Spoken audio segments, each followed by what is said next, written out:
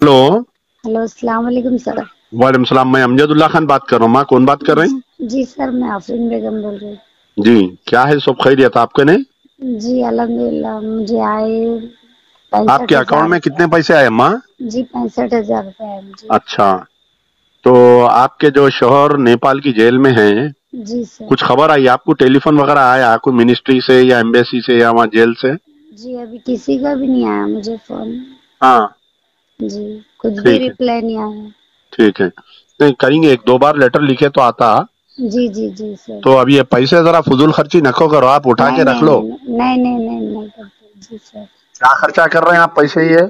जी मैं राशन डाली घर में और जरा करंट बिल बन दिए हम्म। और मेरे तीन बच्चों को भी हॉस्पिटल में बताइए अब हाल ही में तबीयत बहुत खराब हुई थी तीनों की भी।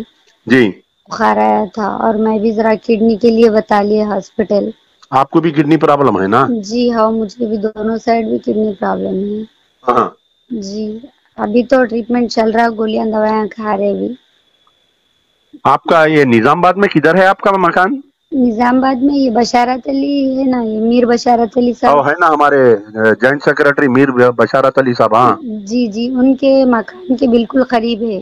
उनके स्कूल कने हैं उनके मकान कने हैं? नहीं नहीं उनके मकान के बिल्कुल ठीक है उनसे टच में रहो आप मीर बशारत अली साहब से हमारे अब्दुल बासित साहब से जी जी। हमारे लोगों से टच में रहो कुछ भी ज़रूरत पड़ी तो मेरे को फ़ोन करो। जी सर बिल्कुल बिल्कुल। वो आपके शोहर की मैं कर रहा हूँ बराबर मुस्तसिल कर रहा हूँ। जी जी। एक दो दिन में मसला हल नहीं होता वो लंबा है ना उन चार साल से जेल में है ना आपके शोहर? जी जी हाँ सर चार साल हो गए अभी तक कोई भी हमारे ऐसा हेल्प नहीं करे। आपका बहुत बहुत लाख लाख शुक्रिया। मैं हर नमाज़ में आपके लिए दुआ करूँगी। बस दुनिया में कोई भी नहीं है अमजदुल्ला साहब के जैसे बस। ठीक है जो भी आपको मदद करे उनके लिए भी दुआ करिए आप। जी जी सर बिल्कुल। जो भी खैर हजरात मेरे लिए जो भी पैसे भेजे ना अल्लाह ताला उनके ऊपर कोई भी परेशानी ना अल्लाह ताला उनको खुशियाँ नसीब करे। ठीक है आप मेरे से रब्त में रहो। हमारे वहाँ के जो निजामबाद के पार्टी के लोग हैं ना उनसे भी रब्त में रहो। जी सर। आ, अगर आपकी मेरी बातचीत नहीं हो रही या मैं आपको फ़ोन नहीं कर रहा हूँ या आप मेरे को नहीं कर रहे हैं तो ये मत समझो कि आपके शोहर की कार्रवाई मैं नहीं कर रहा हूँ। आपके शोहर की जो भी फ़ाइल है मेरे टेबल पे है मैं ऑफ़िस में जाते वो फ़ाइल देखता हूँ रोज मैं अपडेट ले रहा हूँ उसका। जी सर जी इंशाल्लाह दुआ करो एक दो तीन महीने में छह महीने में आपके शोहर को छुड़ा के ला लेंगे। जी सर जी जी।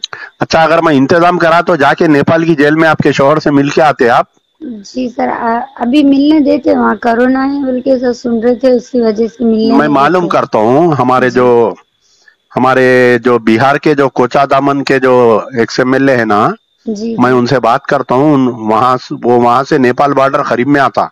जी सर तो आप यहाँ से बिहार जाके बिहार से बाई नेपाल नेपाल जाके आपके शोहर से मिल के आए वैसा करता हूँ मैं।